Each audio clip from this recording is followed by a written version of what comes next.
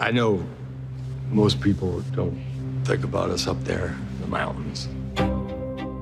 Many of my patients are miners. It's dangerous work, and they carry the burden of building this nation on their backs. They're in pain. These people, my people, trusted me.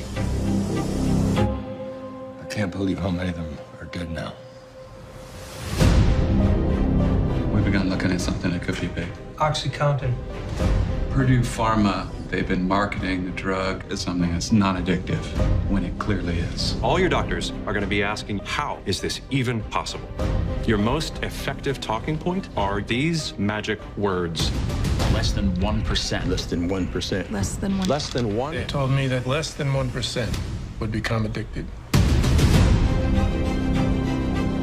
If OxyContin does what I think it can, we could soon become Purdue's first billion dollar drug. Purdue continues to lie about the drug's safety to doctors, to patients, and the FDA. We have a major case here. Addiction rates, overdoses, and crime are on the rise across the country because of this drug. I think maybe the medicine might be just a tad more addictive than you said. I can't live like this anymore. Our community is ground zero for a national catastrophe.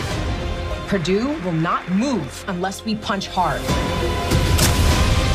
This is not our fault. These people want to be addicted.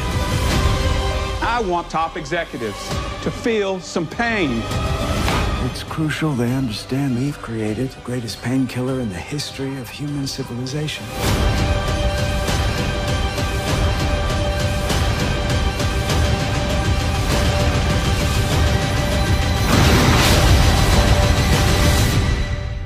Think I can make this the biggest drug in the world.